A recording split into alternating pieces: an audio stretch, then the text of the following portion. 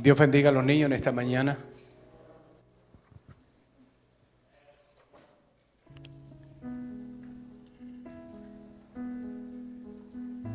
Damos gracias al Señor porque por los niños debemos siempre bendecirlos.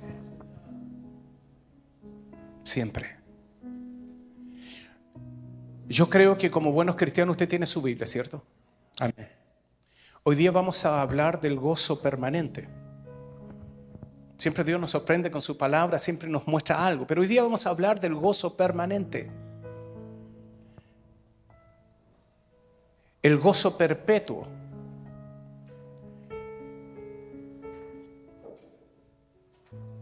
En lugar de tristeza, debemos tener el gozo de Dios. Yo quiero invitarle a abrir su Biblia en Isaías 51. Vamos a leer el profeta Isaías 51. Usted va a entender algo tremendo en su corazón en esta mañana. Dios le va a bendecir. Usted se va a gozar con el Señor que alaba.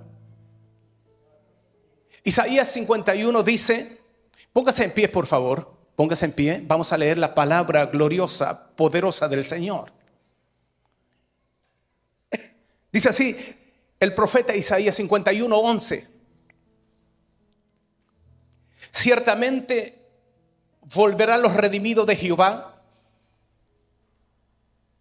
volverán a Sión cantando y gozo perpetuo habrá sobre sus cabezas.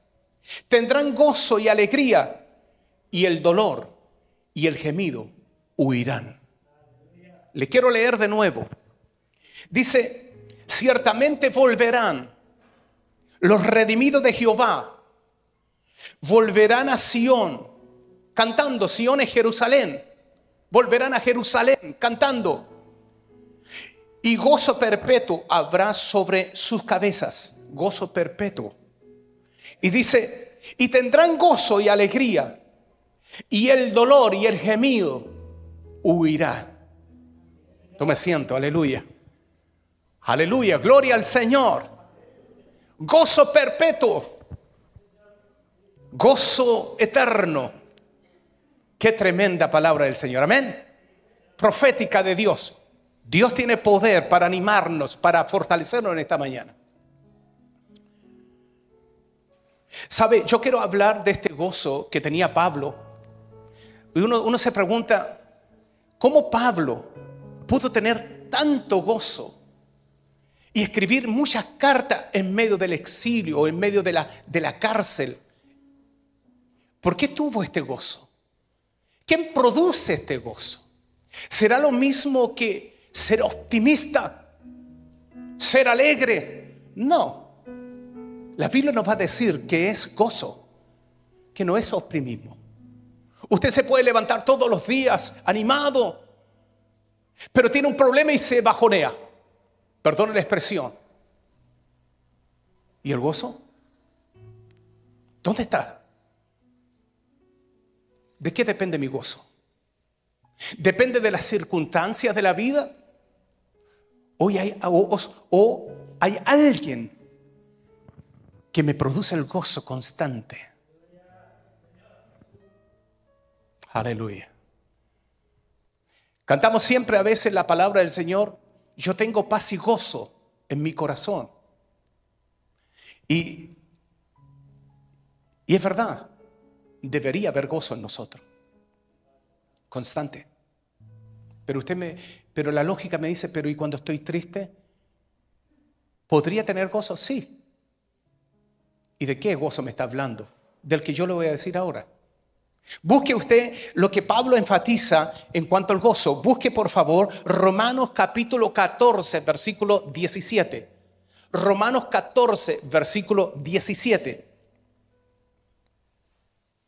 El apóstol Pablo le escribe a los romanos, a los hermanos, porque este es un tiempo de persecución. Nunca la iglesia ha descansado, siempre ha tenido persecución. Hoy día la iglesia tiene persecución en la China, hoy día tiene persecución en medio del Oriente. Los, los cristianos son perseguidos. Bendito usted que tiene paz hoy. Hay muchos que están muriendo por causa de Cristo.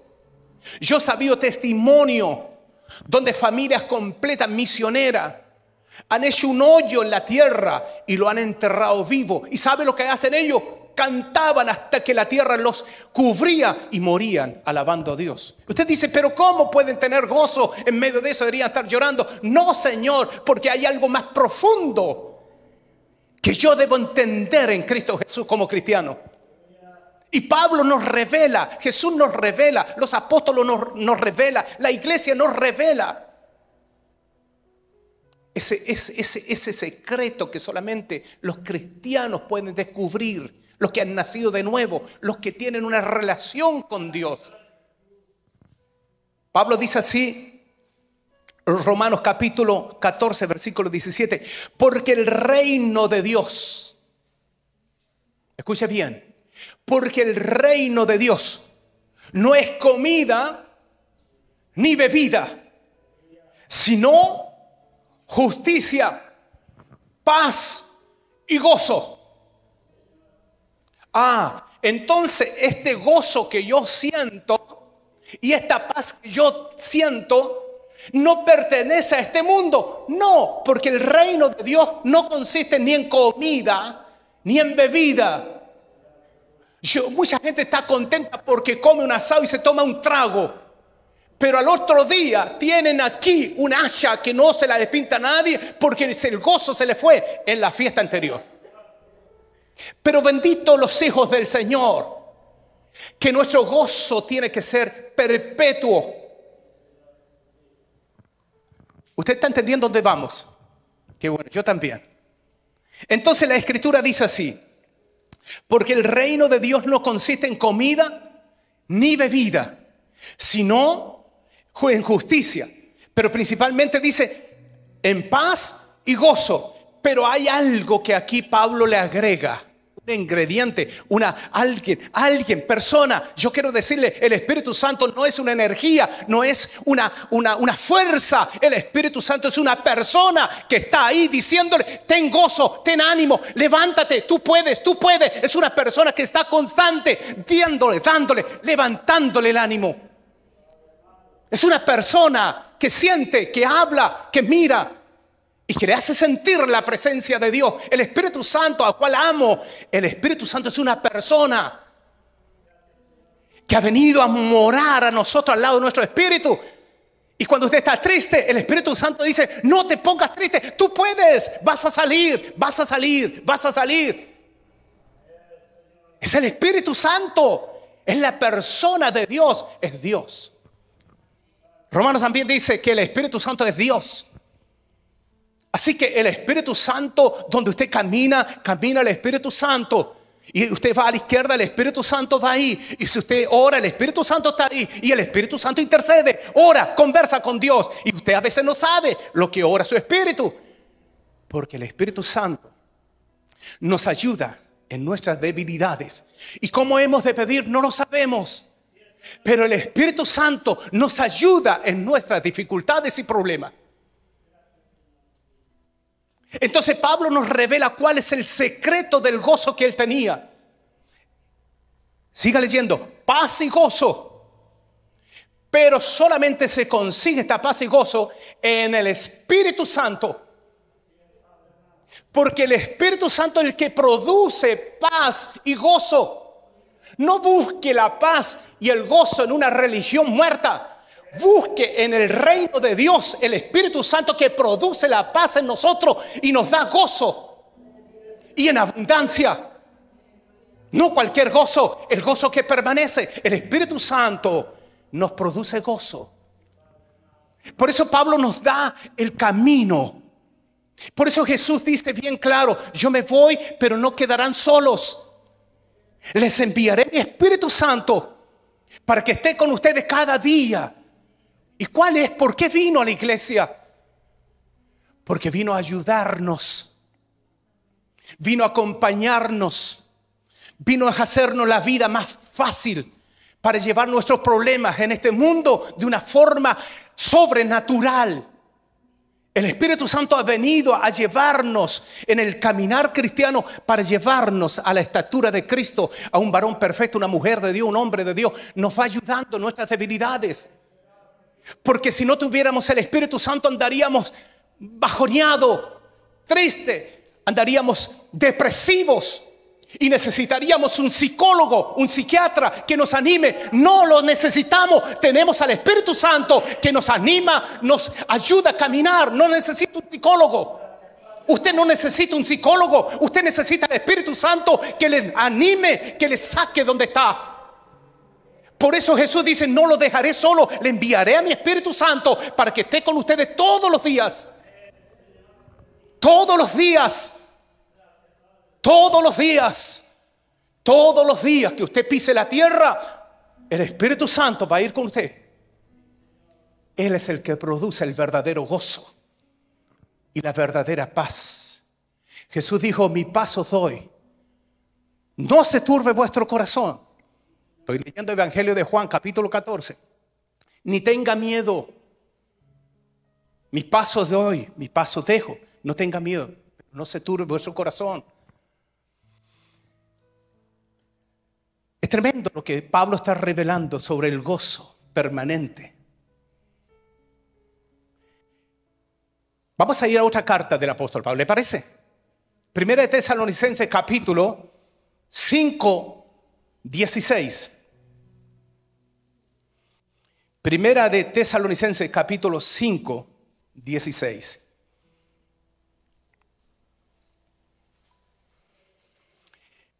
Pero ¿cómo se le puede ocurrir a un apóstol decirnos estar siempre gozosos? Pero si nosotros tenemos problemas como seres humanos, tenemos dificultades, sí, y Dios lo conoce. Tenemos luchas, sí, también Dios lo conoce. Pero Jesús por eso dijo, a muchas tribulaciones entraremos al reino del cielo. Eso no está ausente de nosotros. Vivimos en este mundo, mas no somos de este mundo. Pero aún así Pablo, el apóstol, dice estar siempre gozosos. Porque él sabía que lo que le estaba enseñando a los tesalonicenses no era el gozo del hombre, era el gozo que venía del Espíritu Santo. Usted ya lo leyó en Romanos, es el gozo del Señor. No se le olvide que Dios es espíritu, por lo tanto es Dios mismo animándole. Si usted va al Hexemaní con Jesús, cuando Jesús dijo, eh, fue con sus discípulos y se metió al monte del Hexemaní antes de ser crucificado, dice que vino un ángel y le consolaba. ¿Por qué no vino el Espíritu Santo? Porque no era tiempo de venir. Y yo quiero revelarle esto que Dios nos muestra a nosotros. ¿Por qué el Espíritu Santo no vino a consolar a Jesús? No porque todavía no iba a venir, estaba en Jesús pero todavía no. Vino un ángel, pero dice Jesús, les conviene que yo me vaya al cielo, porque si no me voy, no puede venir el consolador, el que consuela. Si yo no me voy, no puede venir el consolador. Es necesario que yo salga de este mundo y aparezca y venga el Espíritu Santo para que les consuele. Entonces ahora Jesús está a la diestra del Padre intercediendo por nosotros, pero el Espíritu Santo nos está animando, nos está animando, nos está ayudando para que el gozo no se pierda, el gozo perpetuo. Estar siempre gozoso, y yo quiero leer estos versículos que los tengo aquí. Dice el 16, estar siempre gozoso, orar sin cesar Dar gracias en todo porque esta es la voluntad de Dios. Para con vosotros en Cristo Jesús. Pero hay, una, hay un solo versículo ahí que el que tenemos que grabarnos siempre. Pero no apaguéis a quién? Al Espíritu Santo. Porque si usted apaga al Espíritu Santo no tendrá gozo. Así de simple. No hay que apagarlo. Hay que dejarlo que se mueva. Hay que dejarlo que Él le visite, que le toque, para que usted le ministre. Pero si usted apaga al Espíritu Santo, no quiero que se mueva, quiero, quiero conservar mi posición. No, deja que se mueva el Espíritu Santo para que traiga gozo, para que traiga paz. El Espíritu Santo está ahí. Entonces Pablo dice, no apaguéis al Espíritu. Es una orden. No apagues el Espíritu. Porque ha sido enviado para traer gozo, paz, confirmación, para ayudarnos. Sea lleno del Espíritu Santo. Busque que el Espíritu Santo le llene su vaso. Vamos a ir a otro, a otra parte. ¿Por qué Pablo decía que hay que tener gozo y paz? Mire, Gálatas capítulo 5, 22 dice el apóstol, nuevamente el apóstol Pablo dice, más el fruto del Espíritu es amor. ¿Y qué más? Gozo y paz. Ah, ahora usted está entendiendo por qué este gozo que tenemos no pertenece al mundo. ¿Sabe por qué? Porque es un fruto del Espíritu dado a los hijos de Dios. ¿Entiende ahora? Que el mundo no puede tener esta paz ni tampoco este gozo. ¿Sabe por qué? Porque no tiene a Jesús en su vida. ¿Y por qué está dentro del marco de los dones? Porque el gozo es un don del Espíritu. Es el don del Espíritu. Y la Escritura dice que el fruto del Espíritu es amor, paz y gozo. No quiero seguir leyendo porque usted ya se sabe esa parte. Bueno, paciencia, benignidad, bondad, etc. Pero principalmente estamos hablando que es uno de los dones que está ahí. Gozo y paz van muy juntos.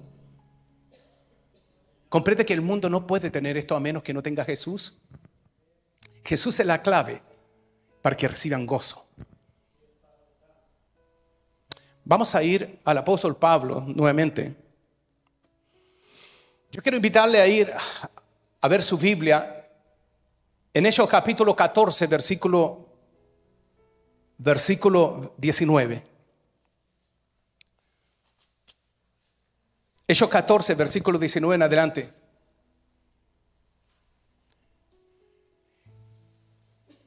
El apóstol Pablo se encontraba en Listra. Yo quiero que usted ahora me mire un poquito. El apóstol se encontraba en Listra. Él fue a la ciudad de Listra con Bernabé. Iban con un propósito, un mandato, predicar el Evangelio. Nunca se los olvide el propósito, predicar el Evangelio. Y cuando llegaron ese día, había un paralítico cojo de nacimiento. Y Pablo, obviamente la tendencia del ministerio de él, y debería ser de todos nosotros, oró por él y el cojo sanó. Y fueron tan alegres en la ciudad de Listra, tan contentos, que no se le ocurrió nada más que traer toros y guirnalda y querían sacrificar el toro porque a Bernabé le pusieron Apolo y, o sea, Mercurio y a Pablo hicieron Apolos. Bajaron Dios del cielo, dice, y trajeron sanidad. Así que ofrezcámosle sacrificio. Y Pablo se tiró sobre ellos y le dijo, no lo hagan. Somos hombres igual que ustedes. No necesitamos sacrificios. No pudieron evitarlo. Y como vinieron algunos judíos, empezaron a tramar y hablar en contra de estos siervos del Señor. Tomaron a Pablo y lo apiedraron. Y quedó inconsciente. Hicieron igual sacrificio, no pudo evitar, pero no por Pablo, y dice, apedrearon a este siervo de Dios y lo dejaron tirado, tendido. Imagínense las piedras en la cabeza. Tiene que haber estado inconsciente. Y dice, y lo toman los discípulos y se lo llevan como muerto. Y ellos pensaron que lo habían matado. Pero la gloria del Señor no funciona así. Pablo no tenía que partir todavía. Y dice que cuando a, ellos, a Pablo lo llevaron, se recuperó, lo cuidaron al hombre de Dios. Y al otro día partieron y siguieron predicando el Evangelio. Pero él dice, tenía gozo. Mire, yo le voy a leer aquí.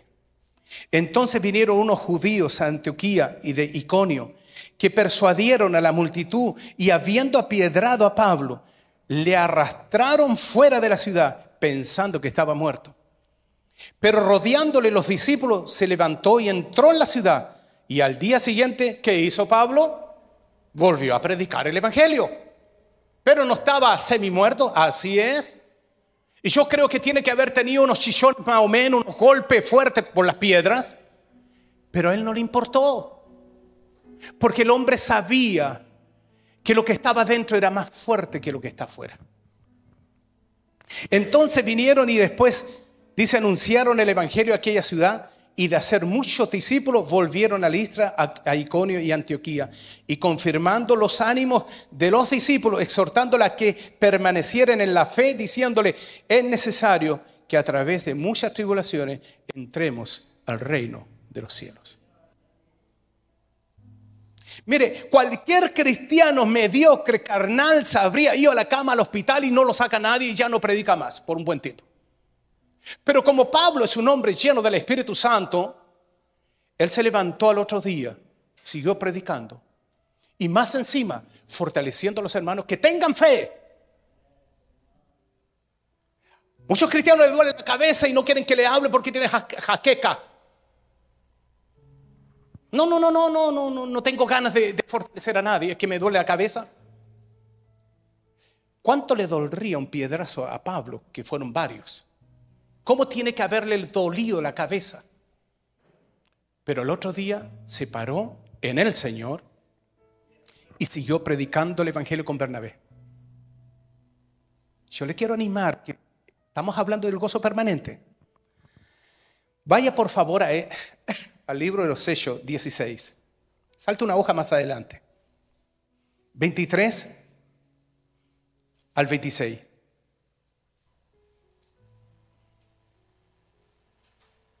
Después de haberle azotado, está ahora Pablo y Sila. Después de haberle azotado ya en gran manera, la escritura nos dice, lo echaron en la cárcel, mandando al carcelero que los guardase con seguridad, porque estos son peligrosos. estos son peligrosos que predican el Evangelio. Claro, para Satanás somos peligrosos. Porque ves que predicamos el Evangelio, agarramos a las almas perdidas y las traemos y se, restauran. Jesús los sana, Jesús los libera, le da salvación. Somos peligrosos, amén. Porque no es usted, el que está dentro de usted es el peligroso. Porque Jesús dice que el que está en vosotros es más poderoso que el que está afuera. Está hablando de eso, del que está dentro. Es más poderoso que el que está afuera. Y dice, lo tomaron, lo metieron a la cárcel y, y empezaron a cuidarlo. Y el carcelero recibe ese mandato y los metió al calabozo, más adentro, más seguro, donde no se escapen, como delincuente. Pero no, ellos sabían, Pablo y Silas sabían que eran hombres de Dios. Y la escritura dice, pero a medianoche, mire qué tremendo, pero a medianoche Después de haberlo azotado, estaban ya, se imagina usted, con su porque el carcelero le curaba las heridas. Pero a medianoche, en lo más profundo, orando Pablo y Sila, empezaron a cantar himnos al Señor. Usted la lógica del hombre no la entiende. Hombres latigados, golpeados con vara porque eran brutales soldados y los meten con heridas abiertas y los meten en el cepo, en, una cárcel más húmeda, la más abajo, y le ponen guardia para que no se escapen. Y amarrado con grillo en las piernas y en las manos, estaba ahí Pablo y Sila. Pero ellos no empezaron a reclamar, mi querido hermano. Ellos no reclaman. Aprenda muy bien que es ser cristiano no reclaman, sino que ellos entonan un himno y empiezan a cantar a Dios, agradecer a Dios, adorarle en medio de la prueba. Y el gozo empieza a fluir y empiezan a adorar a Dios, adorarle. Señor, gracias porque me pegaron, pero por tu nombre. Gracias. Y adoran, y adoran. Y en ese adorar movieron el cielo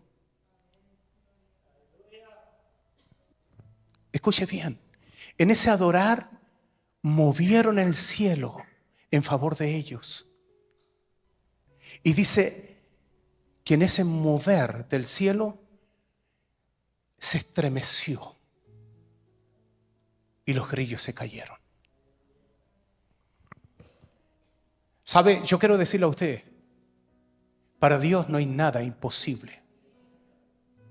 Lo que el diablo hace, Dios lo hace nuevo. Y en medio de toda esa circunstancia, estos hombres de Dios adoraron a Dios. Gozo perpetuo. Él sabe a quién sirve. Yo quiero hacer una pregunta en esta mañana. ¿Usted sabe a quién sirve? Piénselo. ¿Cuántas veces usted ha reclamado a Dios? Por la circunstancia, por el trabajo. ¿Por qué no tiene esto? Por cosas externas. ¿Sabe, mi querido hermano? Nosotros tenemos que aprender de las escrituras, por eso están escritas, para aprender que detrás de Pablo, dentro de Pablo había uno poderoso, que el que lo hacía cantar, el que lo hacía entonar una canción a Dios, el que lo estaba sacando de esa angustia a lo mejor, porque era hombre. Pero el gozo de adentro era más fuerte que el dolor que estaban sintiendo mucho más fuerte, sobrepasaba en gran manera la carne. Y Dios contestó y movió el cielo. Mi querido hermano, el gozo no es igual que optimismo, no es igual. O alegría, el gozo es un regalo celestial que viene del cielo por el Espíritu Santo. Se lo regalaron. Nos regalaron el gozo. No le costó ni a usted ni a mí. El Espíritu Santo viene a morar sobre su pueblo. Y esto va creciendo en fe. Esto crece en fe. Dice, la fe viene por el oír la palabra de Dios. Usted va teniendo gozo ahora porque está escuchando la palabra de Dios y usted va sintiendo como el Espíritu Santo se va ardiendo en su corazón. Porque va subiendo. Porque el gozo viene por la fe. En otra palabra, hablamos de gozo que no depende de las circunstancias. La gente a veces, pobre gente, a mucha, depende de la circunstancia. ¿Sabe? Hay personas que son alegres, optimistas, por naturaleza. Son alegres. Por eso que hay muchas personas que cuando usted le ven, ¿dónde va usted? a la iglesia. ¿Y por qué va a la iglesia? ¿A quién va? Voy a alabar al Señor. ¿Y está contento? Sí, algo, total, hay que ir a alguna parte. Eso no produce gozo. Eso no convence ni al diablo. Porque cuando usted va a la iglesia a adorar al Dios que vive y que se manifiesta aquí y que Dios está aquí, yo sé que está aquí, usted tiene que venir con ese gozo permanente, no con la carne, no es como se levantó. No. Usted tiene que traspasar todo lo que es carne. Cuando alguien le pregunta, ¿dónde va usted? No, yo quiero ir a la iglesia a alabar al Señor con mis hermanos. Porque Dios está conmigo y está con mis hermanos. Bienaventurados los hermanos juntos en armonía, porque Dios enviará bendición y vida eterna. O sea, gozo. Óleos de gozo que nos bendice y nos salimos contentos y le contamos a la gente, tuvimos un culto extraordinario, Dios estaba ahí, pero también está aquí.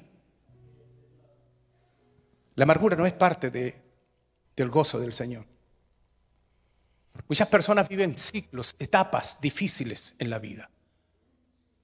Y de acuerdo a las etapas de la vida es que manifiestan el gozo. Les quiero poner un ejemplo. Oh, tengo alegría, Señor, estoy contento porque me compré un auto. Y al otro día está triste. ¿Y qué le pasa, hermano? Bueno, estoy triste porque me robaron el auto. Se acabó el gozo. ¿Está comprendiendo? No estamos hablando de ese gozo que está hoy y mañana no está. Ese gozo es permanente el que le diga lo que, dice el Señor. Lo que estamos hablando, que el otro gozo que tiene el mundo, que se alegran con lo que le dije al principio, una fiesta, un trago, una comida, mientras más grande es el pedazo, el bistec, el asado, más contento estoy. Pero todo pasa, todo se acaba. La fiesta se acaba, la comida se acaba, el trago se acaba. Pero los cristianos no se acaba. Porque ese gozo no pertenece a la carne, ese gozo pertenece al Espíritu y el Espíritu nos da el gozo y la paz. ¿Y cuándo nos da más paz y más gozo? ¿Cuándo tengo más paz y más gozo? Cuando yo paso más tiempo en el Señor, en oración. Mientras usted más se acerca a Dios, más paz tiene. Mientras usted más se acerca al Señor, más gozo tiene. Por eso es que cuando usted ayuna y baja el nivel de la carne, usted ayuna 24 horas, un ayuno seco, usted baja la carne, usted quiere abrazar a todo el mundo, usted anda contenta, contento. ¿Por qué? Porque su carne bajó. Vuelve a comer, su carne sube y empiezan las luchas. Pero el gozo debe permanecer. Aleluya. A veces el optimismo y ese gozo que uno cree que la gente tiene, oh, qué contento este vecino, no tiene al Señor, pero a veces más contento que los cristianos. Sí, pero es momentáneo. Yo estoy seguro que ese gozo es carnal, porque aparte de eso, cuando vienen los problemas, las depresiones, la falta de trabajo, se le va el gozo. Y usted ve al mismo vecino enojado, tirando los platos, enojado. ¿Por qué? Porque perdió el trabajo, ya se le acabó el gozo.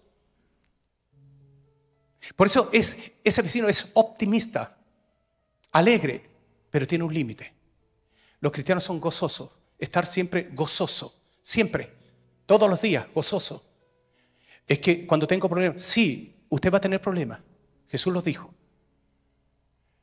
Pero de adentro yo tengo ese gozo que permanece. Estoy triste. Mire, yo quiero decirle algo a usted. Cuando yo fui el año pasado o antepasado al velorio de mi mamá, falleció. Yo lo único que tenía ganas de llorar. Y me apretaba mi corazón porque más encima tenía ganas, tenía que predicar. Era mi mamá. Era la que yo amaba, era la mujer de fe, de oración cristiana. Y partía. Y estuvimos ahí hasta que muriera. Se alargó estuvimos casi, casi tres semanas. Y mi mamá de repente empezó a apagarse la vida. Y la angustia me embargaba. Pero había algo dentro de mi corazón que me producía gozo. Yo tenía una presencia del Espíritu tan grande. Pero yo lloraba, pero dentro del gozo. Mi carne se manifiesta, pero mi espíritu se gozaba porque mi mamá iba a un lugar mejor. Pero no quiere decir que no llore. Quiere decir que el gozo de adentro era más fuerte y me traía la fortaleza que yo tenía. Y pasé la etapa, pude predicar. Y después la dejé en el cementerio. Bueno, dejé su resto. Pero el gozo siguió.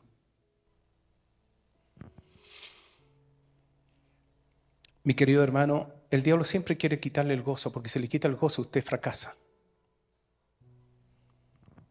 Después de una campaña evangelística que tuvimos, en un lugar, en un gimnasio con mi esposa. Y parte de aquí nos acompañaron. Y cuando veníamos de vuelta teníamos gozo, había gente que había sido tocada, sanada, y algunos aceptaron a Jesús. Mi esposa cae de un puente de seis metros y se quiebra la columna.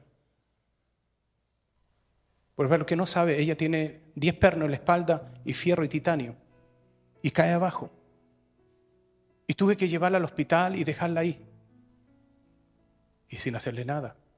Ahí estábamos.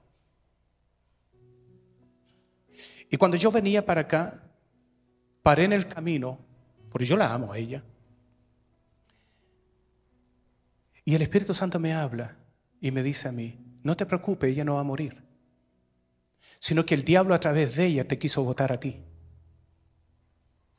No te preocupes, no va a morir. Y yo sabía que no iba a morir. Y me vine contento, con gozo Obviamente uno es el esposo. Y ahí estuve orando. Hice una oración. Hice una oración. Señor, yo solo te pido una cosa. Si tú te vas a llevar a mi esposa, es tu voluntad.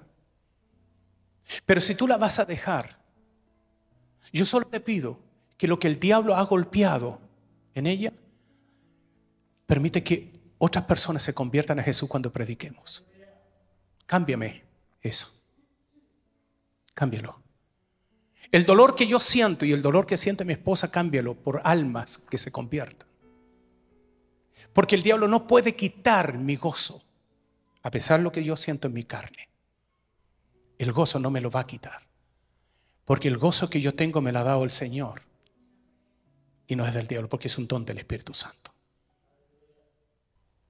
Ahora ella está aquí, está con pernos, bien afirmada, salta y canta al Señor y seguimos el camino. Hasta cuando Dios nos diga cuándo nos separamos. Así es la vida. Pero el gozo no lo perdimos. Mire, yo quiero tomar solamente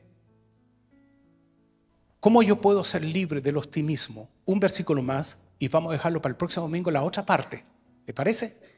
No voy a alcanzar, pero tampoco quiero seguir porque siento que hasta aquí vamos a terminar la primera parte del gozo permanente. Entonces yo quiero terminar con un versículo.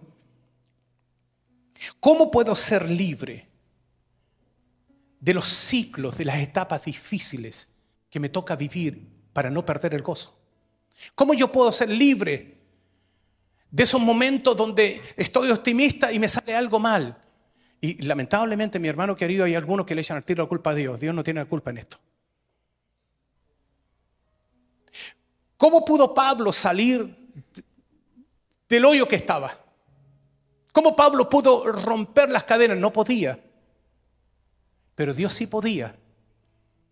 Él puso su confianza en Dios. ¿Cómo puede usted salir de un problema matrimonial que no le está produciendo gozo? Dios le está hablando. ¿Cómo puede salir de ese problema? ¿Cómo usted puede tratar de arreglar su matrimonio sin Dios? Es imposible. Usted no lo va a arreglar jamás sin Dios. Usted se está gastando. Jesús dijo bien claro, el Espíritu Santo ha venido para ayudarle. No ande solo.